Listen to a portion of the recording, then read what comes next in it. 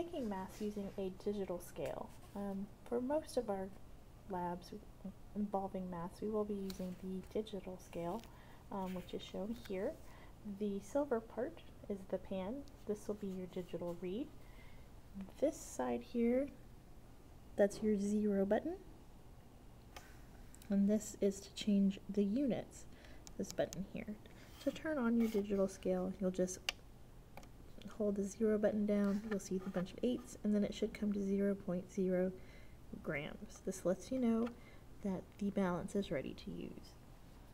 Um, to take the mass of an object, so um, hang on just a second and I will be right back with our trusty Master Yoda.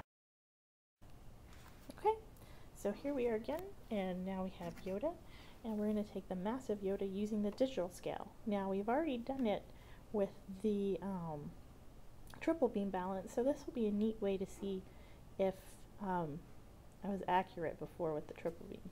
So what we'll do is we'll place Yoda on the pan, and the numbers will change. And once they stop, that gives us our mass, and the mass of Yoda is 82.2 grams. And that's basically the digital scale in a nutshell. Um, you'll take Yoda off and it should go right back to zero. Um, now there's, and that's pretty much it with the digital scale. Uh, we'll learn a couple of new tricks with the digital scale as we go through. Um, so just keep watching. Thanks.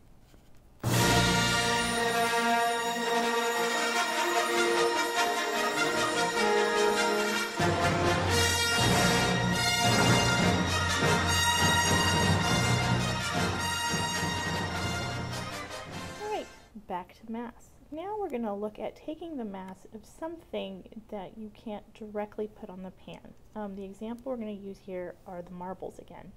Um, they're harder to take the mass of because they won't stay on the pan. They're round, so they have a tendency to roll around. Um, another thing we tend to use is when, I'm, when I ask uh, for the mass of a certain volume of water. Um, but we're going to do the mass of the three marbles. Okay, so I'm going to put them off to the side and hopefully they won't roll away, which they are, but that's okay. Um, so the first thing we're going to do is we're going to take the mass of the container that they're going to be in. So they're going to be in this petri dish.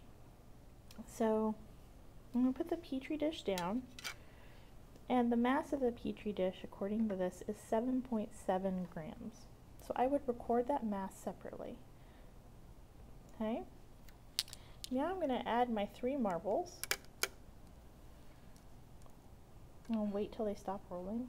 And the mass of the petri dish and the three marbles together is 23.8. Now to get the mass of just the petri dish, and I'm using a calculator so uh, I don't forget my numbers, you'll take the mass of the two combined, which is 23.8, okay? Then you would subtract from that the mass of just the Petri dish, okay, which is 7.7. So 23.8 minus 7.7 is going to give us 16.1. And that 16.1 is the mass of just the three marbles. Okay? Um, again, you'll use this method anytime you have uh, something that can't sit directly on the pan, or it might just be sticky and you don't want to put it on the pan. Um, I was telling you guys that there was a neat trick to this, and I'm going to show you that now. Um, there's one thing you can do. We said that we, calculating it that way, we said it was 16.1 grams, the mass of the three marbles. Now, right here, when you have the Petri dish empty on the pan, you can hit the zero button and it automatically subtracts the weight or the mass of that Petri dish. So now when you put the three marbles on, it should just give you the mass of the three marbles, which da da da, da is 16.1, which is what we calculated when we did it the other way. Pretty cool how that works, yeah? That's just a, a little neat shortcut um, that the digital scale allows us to do uh, and something you'll probably use in the future. All right, so again, if you want to see that again, now the thing is, when you take that off, see how now this says there's negative 7.7? You'll have to hit the zero again to get it back to zero. Okay, so to show you again, we put the Petri dish on, 7.7. I want the mass of the three marbles, so I hit zero. It subtracts out the Petri dish, put the marbles on, and we have our mass.